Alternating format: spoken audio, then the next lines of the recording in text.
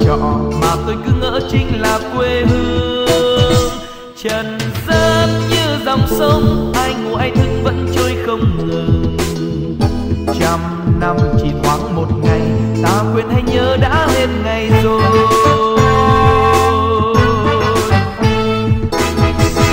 Lạy chúa, xin cho con nhớ nhớ con là gì, xin cho con nhớ đến thân phận mình là nữ khách giữa đời trần lạy chúa xin cho con nhớ sẽ có một ngày con liền trên thế nằm yên trắng tay mà ra đi về với ngài. Vùi sâu trong thế gian, người trong cơn say quên cả cuộc đời. Tình thức một ngày đã tàn, lòng người bối rối giữa đường xa xôi.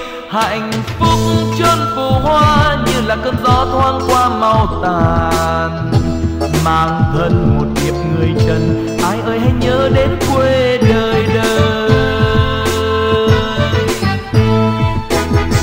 Lạy chúa, xin cho con nhớ nhớ con là gì? Xin cho con nhớ đến thân phận mình là nữ khách giữa đời trần gian.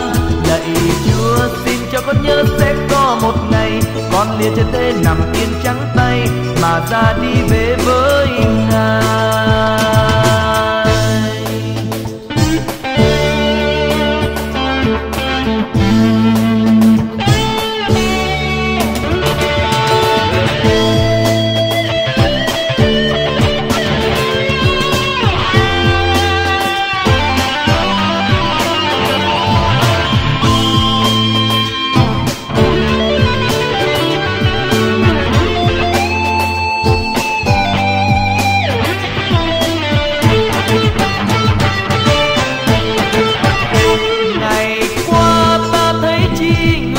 Nhau ra khỏi cuộc đời.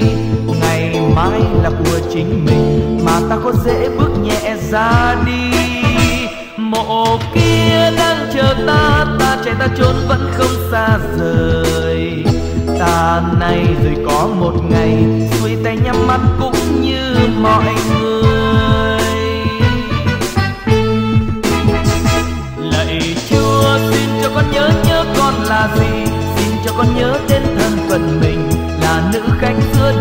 trần gian.